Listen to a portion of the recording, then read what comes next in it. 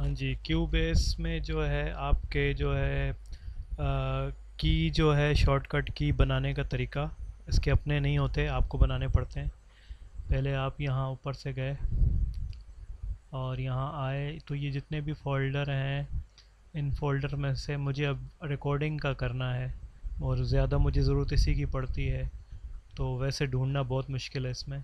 तो पी के बाद आर आता है तो ये रिकॉर्ड पे मैंने दबाया। और रिकॉर्ड पर दबाने के बाद जो इसका पहले से जो बटन लगे हुए हैं, उसको यहाँ से क्लियर किया, अगर लगा हुआ है तो।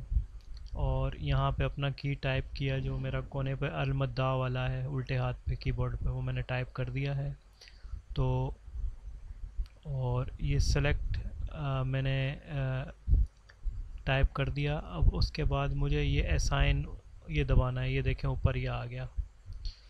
और ये ओके दबा दिया। तो अब देखें मैं दबाता हूँ वाले मद्दा तो ये देखें ये मेरा दब गया है और ये हो गया। तो मुझे तो रिकॉर्डिंग की ही ज़रूरत पड़ती है ज़्यादा आसानी के लिए।